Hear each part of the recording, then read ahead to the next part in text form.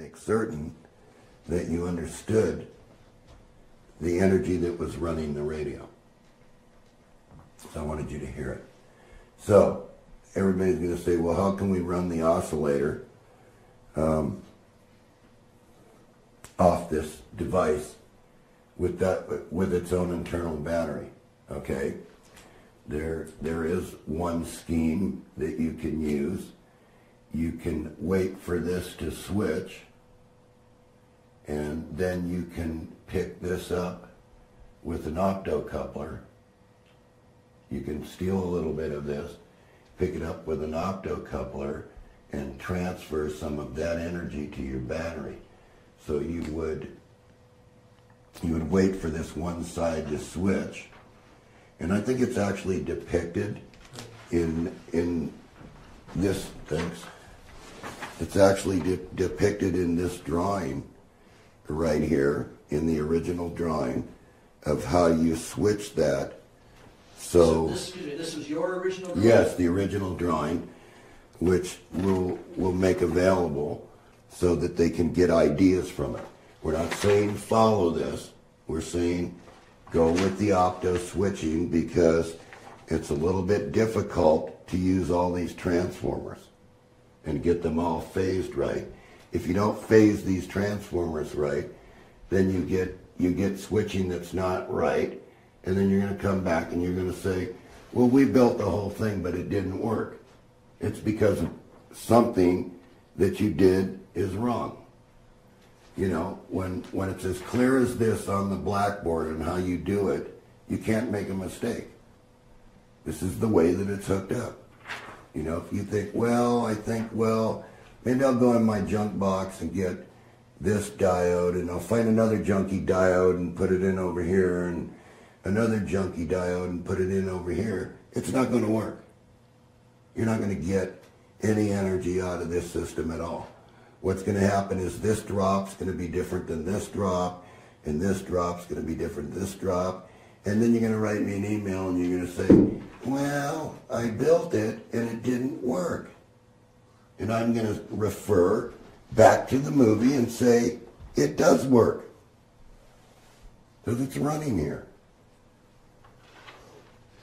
So, the other thing that I want to bring up is it is covered under our U.S. patent on the potential charger, uh, which was for charging batteries. Uh, basically, that's if you look at the claims, the claims are cover this exact switching methodology uh, with capacitors and batteries and also covers the solar end. This become this can be a very good solar oscillator if you want to run it from the sun. It would work very well for doing that for charging batteries. You know, and it would charge all the batteries if you did it. You could actually do that with the sun. And uh, the other thing I want to bring up is I think that everybody owes quite a bit of gratitude to Tom Bearden for all this because if it wouldn't have been for Tom Bearden, this whole field would have never even gotten started. Tom Bearden actually started this field with by by doing all the research work for everybody out there that's in the free energy community. And, and uh, what I think is, uh, in my own mind, is I would have never done this if it wouldn't have been for Tom Bearden. And everybody can say, well, we don't agree with Tom Bearden's theories, but has anybody really ever done the research like Tom Bearden? Have they done the discovery method? Have they tried the circuits or did they change them? Well, for 25 years, the Tesla switch has been in a book. And to this day, I haven't seen any Tesla switches out there. I have never seen it on YouTube. I've never seen anybody report anything except for what's written in the book.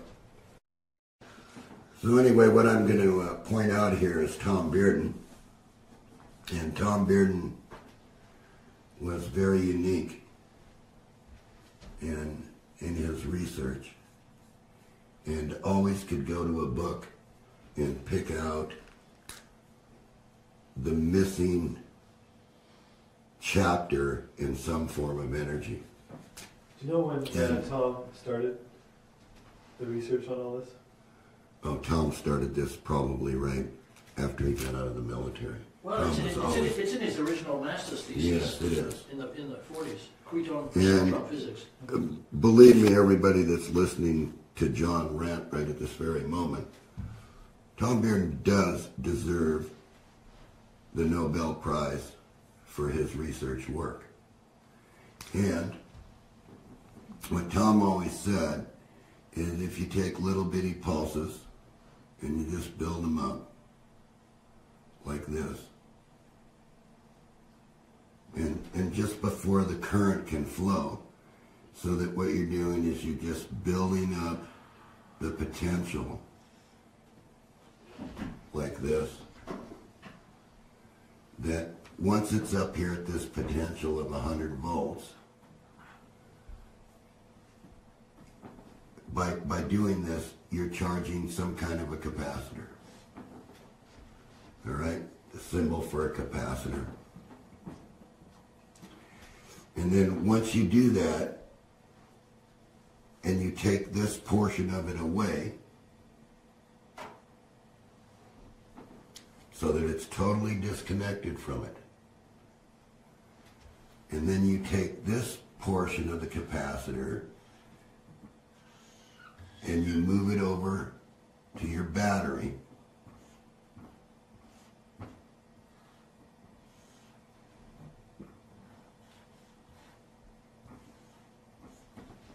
With this switch that you dump this capacitor across the battery and what you get then is you get a sharp spike across the battery. Well, he's tried to point out for years and nobody took Tom Bearden seriously that it's this little spike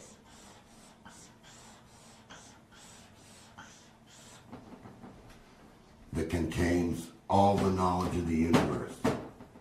So that when this little spike gets into this little chemical battery right here, the battery recharges itself. It keeps going. It's told what to do. And then Tom Bearden says, very conveniently, if you take this switch and it's disconnected again, and this ramp then builds up very slowly without any current to that potential again. That then you disconnect this again and you hit this switch again and you dump this across the battery and you get this spike. Now you dis- you do this again. You keep going back and forth like this, back and forth like this, back and forth like this pretty soon this battery is boiling because it's being charged with a potential charge, which is going, and Tom always used to say, the battery looks like this inside.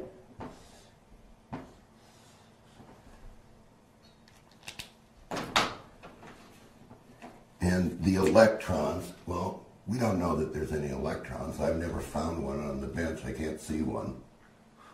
I can't see anything on the bench except for what what these what these waves do.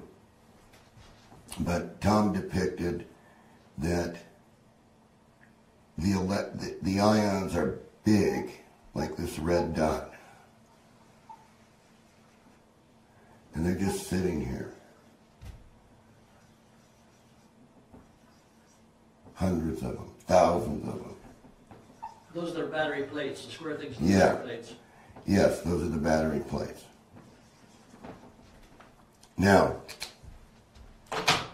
Tom said, you hit this with a potential charge. There's no current involved because as soon as the potential charge hits it, electrons start to pile up around, and that's the blue. And it keeps piling up until the ion moves that direction to recharge the battery. So, if you have all this potential and you have this signal that hits the battery, what keeps happening to the ions is they keep recharging the battery without any force. See, they move very slowly, but the battery sort of recharges itself.